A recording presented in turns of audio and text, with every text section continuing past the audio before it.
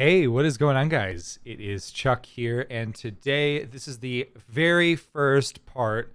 Think of this as the the um, the preface to uh, the entire Firebot tutorial series that I will be doing. Um, my goal with these Firebot tutorials is that we get you up and running in Firebot.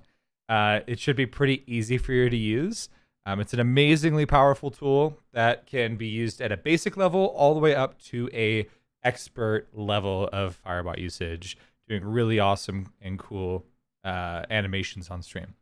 So, with that said, let us take a look uh, at what is going on here.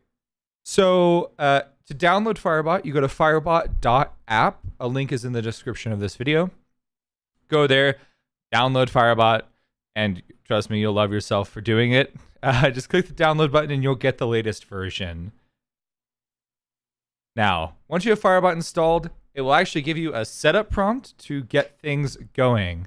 What you're going to want to do is actually log in with your account or accounts. So the setup window will have you do this. I've already kind of cheated a little bit, so we already have something a little bit set up. Uh, but to log in, uh, you can log into a streamer account. Now, if you also have a bot account, so for me, I have a bot that I call Applebot. Uh, I can also have commands read out by Applebot.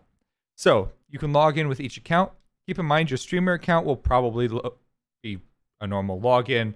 It'll show up uh, over here. You have to authorize uh, all of these things. Basically, you have to give it full access to your channel.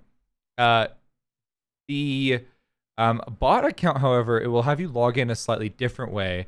It's actually going to recommend that you open this in an incognito window. So what that means is you're going to copy this URL in Chrome when you have Chrome open. You're just going to hit uh, Control Shift New or N, uh, Control Shift and N, and you'll get an incognito window. Uh, the nice part about this, of course, um, is that now you can go here and authorize your bot account without it breaking anything. So it doesn't sign you out of your main Twitch account. You just log into your bot here, and then Firebot will have your bot account logged into. So that concludes the very short and easy getting signed into Firebot. Hopefully, you've been able to sign in with your Twitch account. And if you have a bot, a bot as well, although it's not required. Um, sometimes it's just nice to have two accounts. Kind of looks nice, but certainly not a requirement to use Firebot. Up next, we are going to be taking a look at creating basic chat commands. So if you're watching this in a playlist, it'll just keep playing. If not, the next video in this series will just take you right there. So click the little uh, the little window after I'm gone. Uh, if you enjoy these videos, don't forget to hit subscribe.